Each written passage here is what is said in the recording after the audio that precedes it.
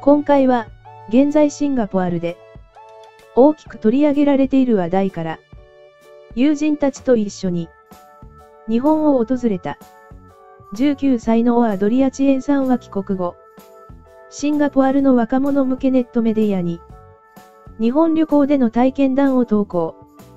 すると、その内容がひどすぎるとして、ネット上で大炎上してしまいました。いかが、問題になっている部分です。友達との休暇は、すべてが虹色で、輝かしいものだと思っていました。ですが、予想よりもはるかに難しいものだったんです。私のように、早起きが苦手な人間にとって、何より大変だったのは、日本では時間通りに、行動をしなければならないということでした。例えば、バスの予定到着時刻が17時1分の場合、17時2分には、つまりたった1分過ぎただけなのに、すでに行ってしまってるんです。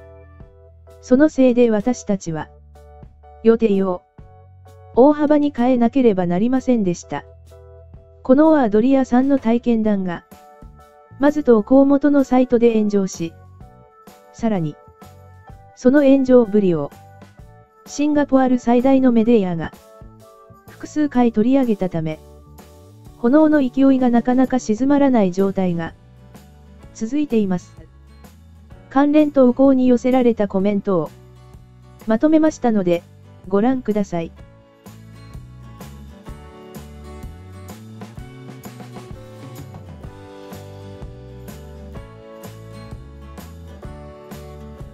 日本のバスの到着時間が、正確すぎるのが悪い。プラス23。ようこそ日本へ。スケジュール通りに、物事をこなせない人間は、脱落することになるぞ。プラス7。海外で、思いがけない体験をするのは、普通のこと。それに卒業旅行で、日本に行けたんでしょ。そのことをラッキアだと思わないと。プラス166。時間を守るっていうのは、美徳だろ。そういう資質が、今の若い子たちには、欠けてるんだよ。プラス9。日本は、その規律の高さや、細かな点、正確性にこだわる国で、知られてるのに、もうちょっと大人になりましょう。プラス177。特に鉄道の正確性は、驚異的だよね。電車が早く到着しすぎて、乗れなかったってこともないし。プラス8。ほとんどの人は、日本のあの時間の正確性に、感動してるのにね。そこに不満を抱くって、どういうことなんだろう。プラス11。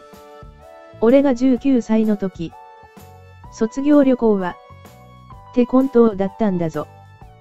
プラス1032。最近不満と捉えられかねない。体験談を、ネット上に投稿する人が、多いよね。でもさ、俺たちは、たとえ同意できないとしても、ただの情報として読んで、笑えばいいだけだと思う。誰だって、それぞれ違う問題を抱えてるわけだし。プラス37。一人旅でも、どんどん日本に行くべき。日本人は、本当に親切なんだ。言葉の壁なんて、全然問題にならない。ちょ待てよ。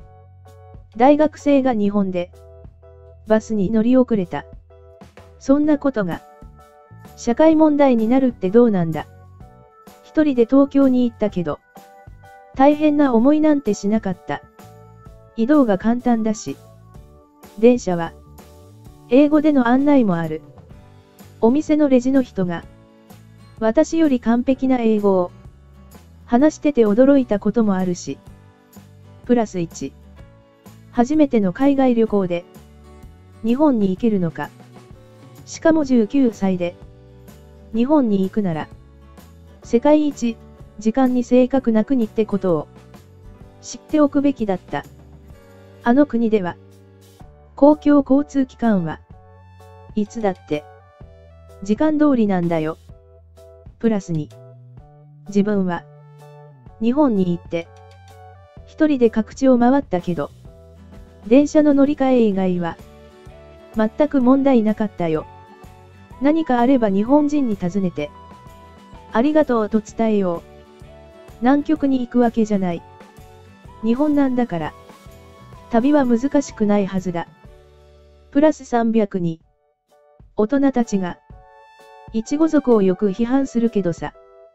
ネット上でひどい振る舞いが、話題になるのは、大抵中年の人たちじゃん。プラス158。過保護に育てられ、いちごのように、傷つきやすい若者世代のこと。メディアはこの話題を、何度取り上げれば気が済むんだ。そんなに取り上げるべきにあーすが、他にないのかよ。プラス5。僕の初めての海外旅行も、日本だった。2000年のことだ。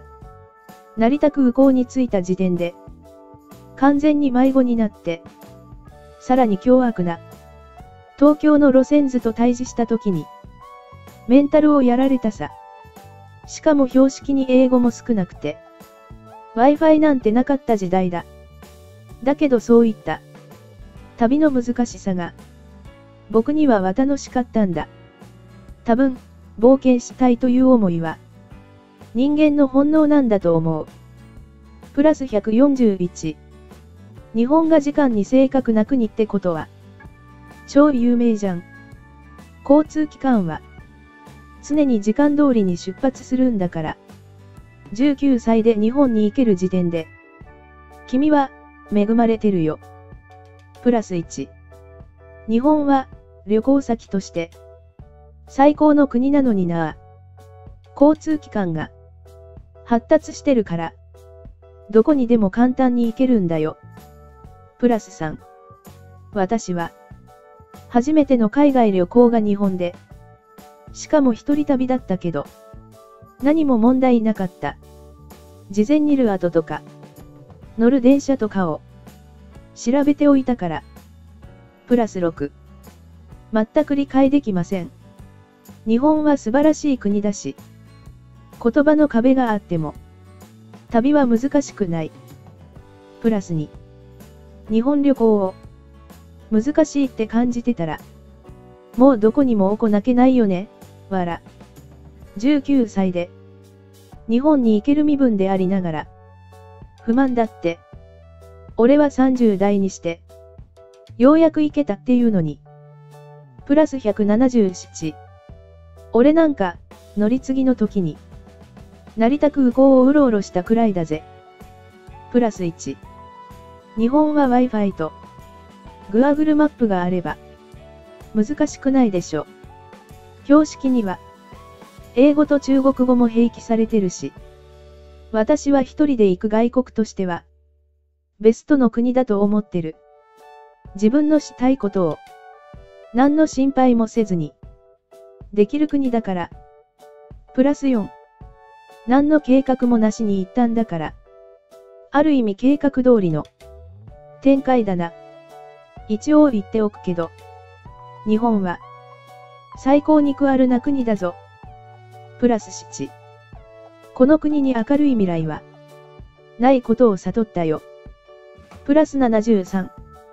日本より、移動が簡単な国なんて、存在しないくらいなのに、他の外国に行くときは、どうするつもりなんだろう。プラス7。もうちょっと。早く起きればいいだけじゃん、わら。外国に行って、その国の時間の正確さに、文句言うってどういうこと？わら。プラス33。これはイチゴ族ですわ。日本は、世界で一番旅しやすい国と言っても、過言じゃないのに。プラス5。日本みたいな、安全な国に行けた幸運を、噛み締めるべきだよね。日本は、すべての若者に、一度は、行ってほしい国だと、私は考えてる。時間をとても大切にする国だから。一流の国では、タイムイズマネアなのよ。プラス3。